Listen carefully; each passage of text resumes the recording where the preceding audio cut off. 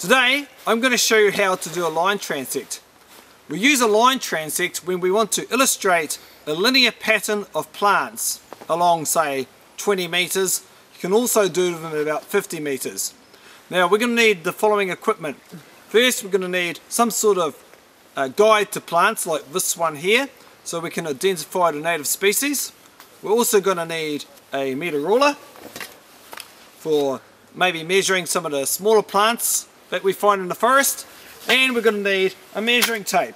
So here I've got a 30 meter measuring tape that I got from Bunnings. This will do the job but as I said before a 50 meter one will do fine as well. Okay, so now a line transect will tell you what is actually in this forest but in terms of the densities of plants it's going to give you limited information because there there'll be species in this forest that you could potentially miss on the line transect okay?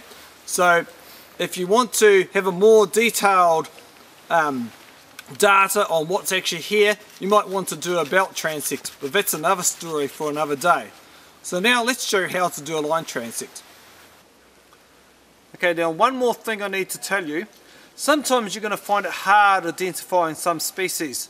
So I suggest you take a, um, you know a digital camera like this one and just take a quick shot of the plant so that later but when you go back you can identify the species. So now what I want to do is I want to get my measuring tape and I want to choose a place where I'm going to start to do my transect. So what I'll do is I'll just tie my tape around a tree like this and now I'll start rolling out my transect about 20 meters.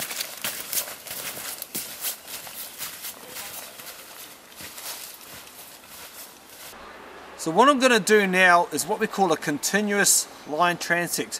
That means that every plant that touches the line, I am going to record where it is from um, the distance it is from the start of the transect and I'm going to find out the height of that plant. Now uh, this Horopito here, uh, if I look carefully here, is about 3.6 meters from the start of the transect. So in my recording paper I'll record 3.6 meters. And I've got a meter ruler here and I can tell you now that this Horopito to the crown of it is about um, 43 centimeters. So I'll record it's 43 centimeters tall. Now for bigger trees I want to measure the diameter of the tree and I might get a clinometer and do some trigonometry to work out the height of that tree as well so now I'll continue on this transect and I'll measure every plant. Okay, so finally got to the end of this uh, transect. I got a marble leaf here. So that was the last tree that I recorded and measured. This marble leaf was about 19.7 meters along the transect and it was approximately about 4 meters high. So now what I'm going to do is I'm going to return to base and I'm going to start tabulating my data. Continuous line transects are great when measuring plant communities over short distance, but over long distances they can be very time consuming, especially if there's lots and lots of plants touching the line. Um, it can also be really tricky separating individuals of the species. Um, for example, uh, I've got this um, tea tree here and it's mixed in with uh, some tangle fern which you can see here. So you don't know where uh, one plant begins and the next one ends.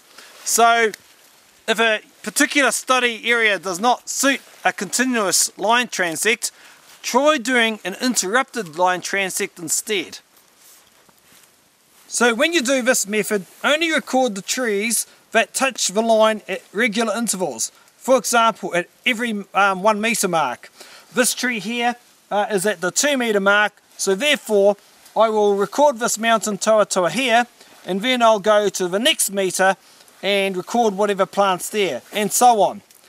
Now the downside of this however is that it's um, very easy to overlook some of the species that might be in this area. Um, on the other hand it's got a plus side, it is quite easy to record on graph paper and if you're doing quite a long transect like say 50 meters you can do it quite quickly.